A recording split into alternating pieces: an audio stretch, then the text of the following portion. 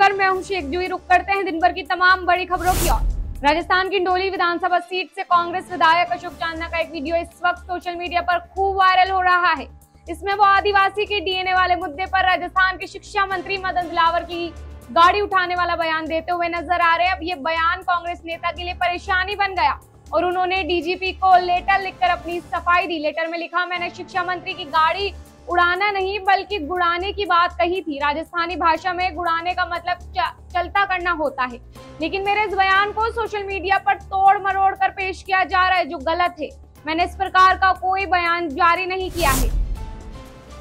Rajasthan Congress committee के प्रदेश अध्यक्ष गोविंद सिंह डोटासरा द्वारा कोटा के आईजी रविदत्त गौड़ पर एक सभा के दौरान की गई बयानबाजी को लेकर ब्यावर के सर्व ब्राह्मण समाज ने भारी रोष व्यक्त किया।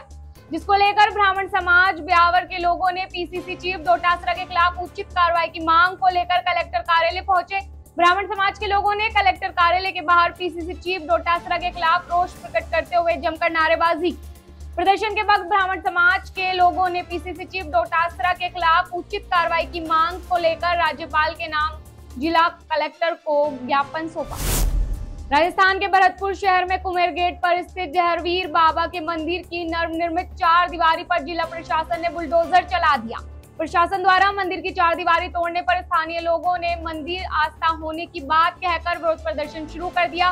प्रदर्शन करते हुए सरकार के खिलाफ जमकर नारेबाजी की और सड़क जाम कर दी। अठारहवीं लोकसभा के पहले सत्र 24 जून से शुरू हो गया। लोकसभा स्पीकर के लिए दो उम्मीदवार मैदान में थे। इंडी की तरफ़ से ओम बिरला और इंडिया गठबंधन की तरफ़ से आठ बार के सांसद के सुरेश मैदान में थे। ऐसे में आज सुबह लोकसभा स्पीकर पद के लिए चुनाव शुरू हुआ और कोटा बूंदी सीट से सांसद ओम बिरला दूसरी बार लोकसभा स्पीकर के लिए चुन लिए गए।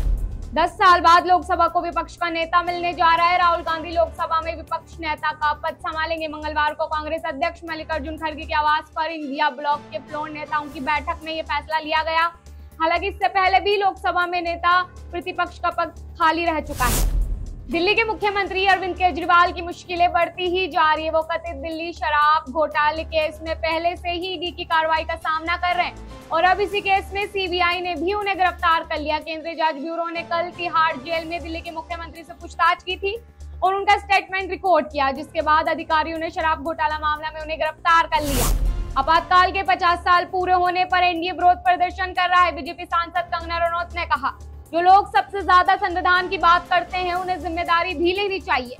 वो अपने पिता और दादी के नाम पर वोट बटोर रहे हैं। तो क्या वो अपने कामों की ज़िम्मेदारी लेंगे? उन्हें अपना ट्रैक रिकॉर्ड देखना चाहिए कि कैसे लोकतंत्र का गला घोटा गया था।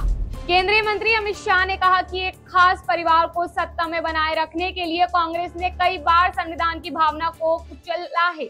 जिस पार्टी के मूल में ही लोकतंत्र रचा बसा ना हो, वह देश को लोकतंत्र कैसे दे सकती है? कांग्रेस की संरचना ही वंशवाद की बुनियाद पर टिकी है।